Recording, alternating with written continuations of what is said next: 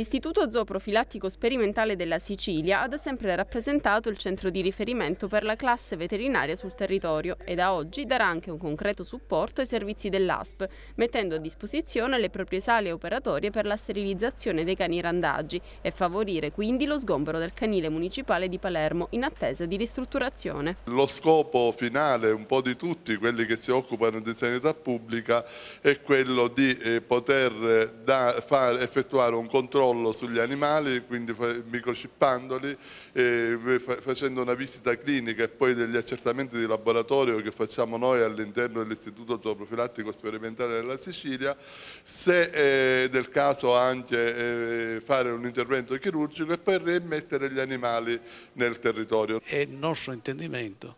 come amministrazione procedere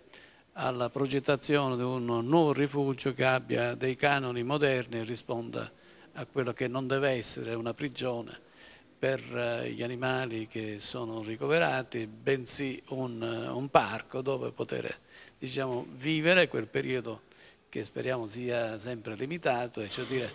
visto che la politica deve essere rivolta in collaborazione con eh, le associazioni animaliste, soprattutto alla sterilizzazione ma anche alle adozioni.